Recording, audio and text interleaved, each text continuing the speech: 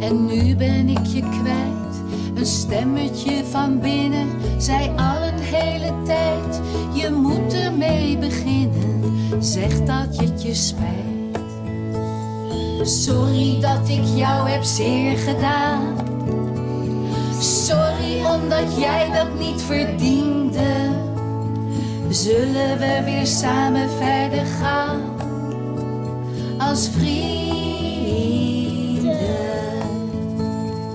Sorry zeggen, doe je niet zo graag.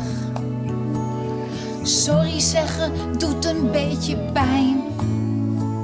Maar dan kun je weer samen verder gaan en vrienden